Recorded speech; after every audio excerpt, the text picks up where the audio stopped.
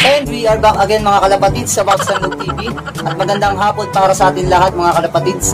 So for today's video mga kalapatids is, ayan mga kalapatids, dahil magre-record tayo ngayon ng mga kalapati natin sa taas bago natin sila ipalop live. Dapat ngayon mga kalapatids eh. And nabitin ako ngayon mga kalapatids sa oras. Kaya bukas na natin sila ipalolop live mga kalapatids. So ayan, ginawa ko na to so pakita ko sa inyo mga kalapatids. Ito mga kalapatids, yung record natin. Yung bird color, tapos ring number 1, yung unang ring nila, and then yung ring number 2 dyan, yung mga ring nila. Tapos yung sa breeder, ginawa ko na rin, inanda ko na rin mga kalapatids. So ilang palang breeder natin dyan, tatlo na lang. So ayan, breeder. Tapos breeder cock, ayan. Tapos breeder hen, tapos yung egg 1, and last din ang pagpisa ng itlog mga kalapatids. Tapos yung mga young bird, kung anong kulay. So pag nakita na yung kulay, doon na pwede isulat dyan. Tapos dito yung ring ng mga ano, young bird. Dito yung ring ng young bird din na number 2. So ayun lang mga kalapatids yung i-record natin. Para may identity rin ng mga ibon dito sa ano, mga breeder. And then dito mga kalapatids, para maklim pa rin natin dito pag uli yung ibon natin. Makiklim pa rin natin mga kalapatids. So ang dami rin mga kalapatids na sasabi bakit daw alas 12 na ako nakapag-upload. So dahil mga kalapatids, anong oras na nakapag-video? Kung napapansin nyo, puro hapon tayo nakakapag-video. Dahil, eto may ginagawa rin pala ako mga kalapatids, yung order ni Idol Madla. And then kay Richard, may order din sila mga kalapatids na training box. Ayan. Eto, nakagawa na ako ngayon na dalawang training box. Dalawang training box na yan mga kalapatids. So okay na yan. Eto, i-deliver na lang kay Idol Madla. Ayan o, Madla. So okay na yan mga kalapatids. So ito siguro gagawin na lang natin na parapon na lang natin kay Idol Madla. Hindi mo na maibibigay yun eh. Ito rin. Dahil ito mas matibay dahil pinortify na natin to mga kalapatids. Mas matibay. Unlike dito kasi ito tutok. Tutok lang yan. Matibay din naman yung mga kalapatids dahil may stick wheel.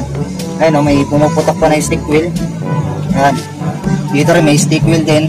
Matibay na yan mga kalapatids. Ayan, dami pang kahoy. Ayan, mga kalapatids, sa mga mo-order, order lang kayo mga kalapatids. Pwede na rin tayo magpa-shipping sa JNT para mas mura. Makatipid din kayo mga kalapatids. So, ang main topic ng video nga natin na to, magre-record tayo ng mga ibon natin sa taas. So, samahan niyo ako mga kalapatids. Counting double digit thousands.